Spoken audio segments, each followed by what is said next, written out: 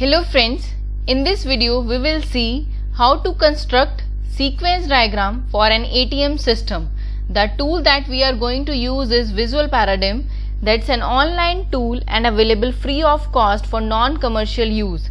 You can easily sign up with your Google account and use this tool for free of cost and you can construct any number of diagrams with this tool. From dashboard you have other options available with you also. You can construct greeting cards brochures templates etc but from diagram you will get the options for the UML diagram. And for this we are going to choose the blank sequence diagram. And if you choose for the template then you are going to get a lot of templates available with you for the sequence diagram. And you can choose from choose from them. You can also edit them according to your requirement but for learning you must choose the blank document always. And here is the interface for the sequence diagram. So let's start. So these are the tools. So first is your lifeline message and this is your reply message response message. This is duration create message where we are creating the object on the execution of a particular message. Self messaging we have.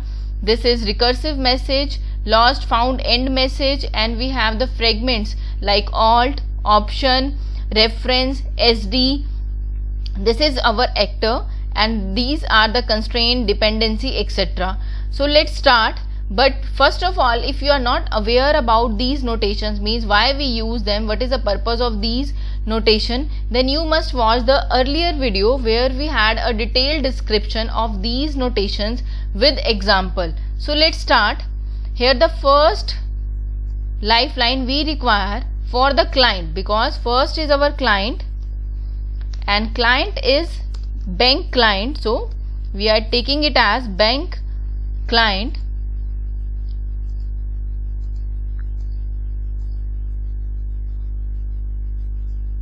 You can simply drag the lifeline and next entity we require is I have simply copy and uh, copy paste it for next entity as the ATM machine.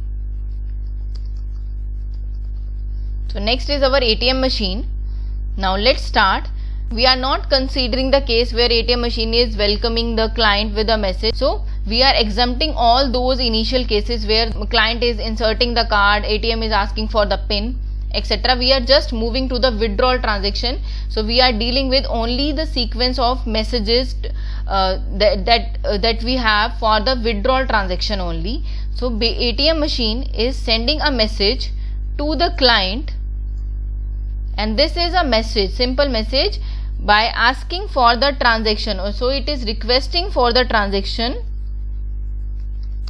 Request transaction. Now in response, the client is replying with the response message, response transaction by entering the transaction. So this is this message is second in the sequence. Enter transaction. Next we have after entering the transaction where the client has chosen the withdrawal option. Here we are not mentioning because we are only labeling the arrows with the function name because it is requesting the transaction and client is entering the transaction. The entered transaction can be any transaction like deposit transfer or withdrawal. So here the client has entered the withdrawal transaction but we are labeling the the response with the message name okay function to be executed. So here these lifeline are representing that on execution of this message the particular object is getting active. So these lifelines are inactive initially but on the execution of these messages that we are displaying with arrows or response message or or the simple message. So on activation or execution of these messages these entities are getting active. Next we have the bank entity requesting for the client for the amount means the amount the client want to withdraw. So this is the third message in the sequence request for the amount. And the client is replying by entering the amount the client wants to withdraw. And this message is fourth in the sequence as enter the amount so client has entered the amount here but we are labeling the arrow with the message name only only with the message name. So the client has entered the amount. You can reposition your text by selecting and simply using arrow button or you can use this orange dot to reposition your message. Next we have after the client has entered the amount the ATM machine is forwarding the request to another object of the account class. So here we have another lifeline for the account because everything is checked from the account accessed from the account. And this message is labeled as process transaction. And this is fifth in the sequence process transaction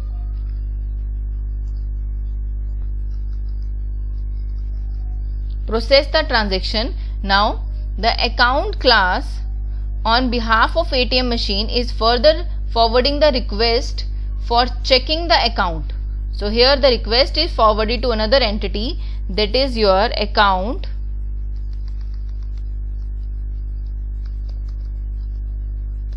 Checking where the checking is performed whether the account is having sufficient balance or not if the account is not having sufficient balance then the transaction must be failed okay? Or the error must be displayed on the screen. Now after checking this entity is replying to the account. If the withdrawal is done or if the withdrawal is successful or failed so here firstly label this message as sixth in the sequence and it is requesting for the withdrawal. Now the account checking entity is replying whether the withdrawal operation is successful or not and this is the seventh message in the sequence. Done. These all are functions. These all are functions.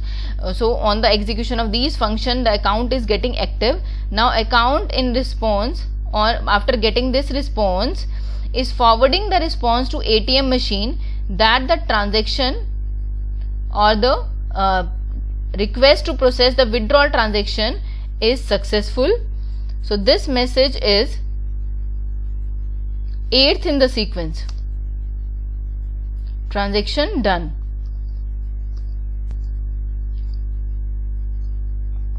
Okay, now the ATM machine after this the transaction is successfully processed.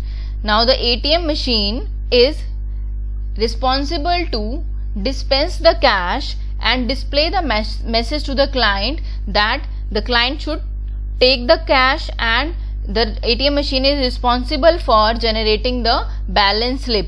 Okay? So here the ATM machine is forwarding the message to the client and the message is that the cash dispense next again the ATM machine is sending the message to the client to take the cash so after the cash is dispensed by the ATM machine. Now the ATM machine is requesting the client to take the cash. So this message is 10th in the sequence. Next we have after the cash is taken by the client, ATM machine is again requesting the client whether he or she wants to continue with the next transaction or not. So it is the 11th message in the sequence where the ATM machine is requesting for the continuation means whether the client wants to process next, next transaction next transaction can be withdrawal again or can be deposit or can be a balancing query. Whether the client wants to perform a next transaction with ATM machine or not. So this is 11th message in the sequence.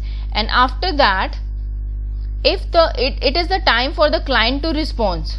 So ATM machine has sent three messages. Now the bank client is responding that he wants to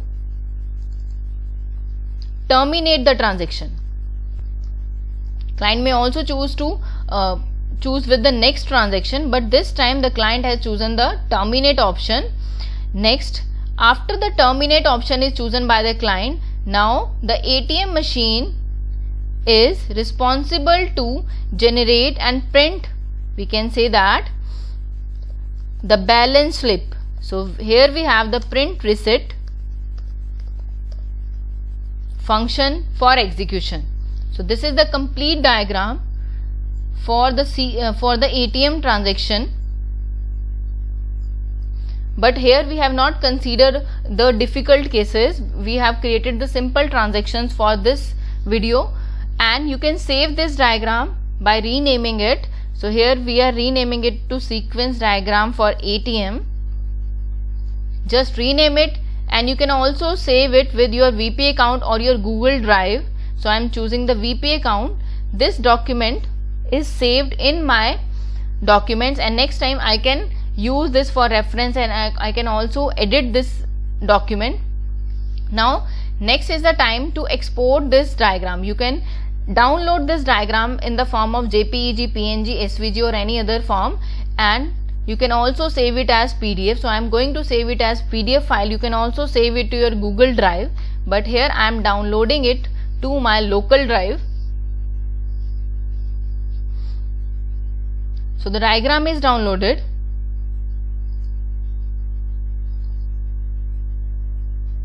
and this is the final output. Here you can see all the messages are clearly shown in this diagram without any overlapping of a message and the text. So this is complete diagram that you can simply crop or you can uh, use for your projects and here please note one thing you can also merge these activation bars. So these activation bars can be merged if they are part of the same sequence you can merge these activation bars